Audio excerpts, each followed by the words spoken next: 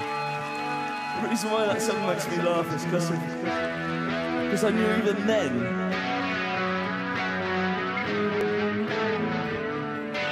ah, I want to change